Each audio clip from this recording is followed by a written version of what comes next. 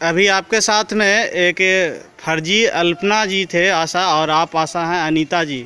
कहाँ के रहने वाली हैं? नोनिया केशवपुर नोनिया में क्या बातचीत हुआ था दोनों के बीच में? हम टीकाकरण नोनिया विहा करवाने गए थे। हम्म, मेरी पेशेंट है जो आई अस्पताल में भेज दिए थे। हम्म। पीछे से आए तो उससे पूछे।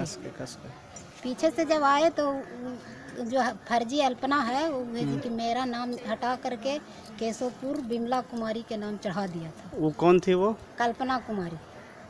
अ, वो कौन लगती थी उसको? कोई कोई रिलेशन नहीं लगती थी। तो किसका नाम ऐसे चढ़ा दी? किसका चढ़ा दिया जब?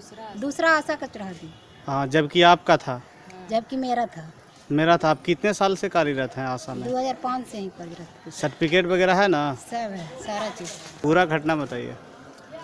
जब हम आए तो डिलीवरी जब हम आए तो आने के बाद डिलीवरी हो गई। मुझे आने के बाद डिलीवरी हो गई। डिलीवरी अंदर हुआ कि बाहर? जैसे वो आरोप लगा रही है कि बाहर हुआ था। नहीं अंदर हुआ। अंदर हुआ। आप ही करवाए हैं? हम नहीं करवाए नर्स थी हम वहाँ साथे थी दाई थी सर। डॉक्टर कौन थे? डॉक्टर डॉक्टर वहाँ पर नहीं थे ना ये ग्रेड नर्स थे दाई थी ममता थी दो। हाँ। ड्यूटी में जो थे पंकज सर थे।